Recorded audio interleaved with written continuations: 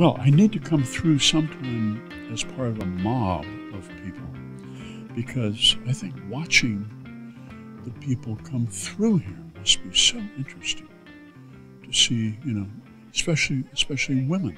See, I come from the Midwest, and and and we we don't go in for mass hysteria. So we were quiet Elvis fans, you know.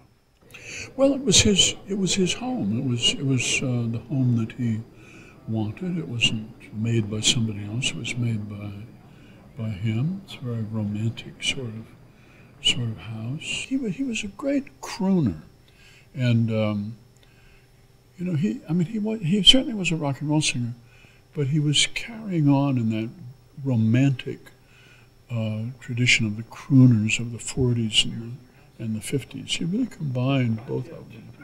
This summer we were on tour. I think I did it uh, 27 straight shows. You walk out into the audience and you and you just start can't help falling in love. And everybody knows the words to the song. You know?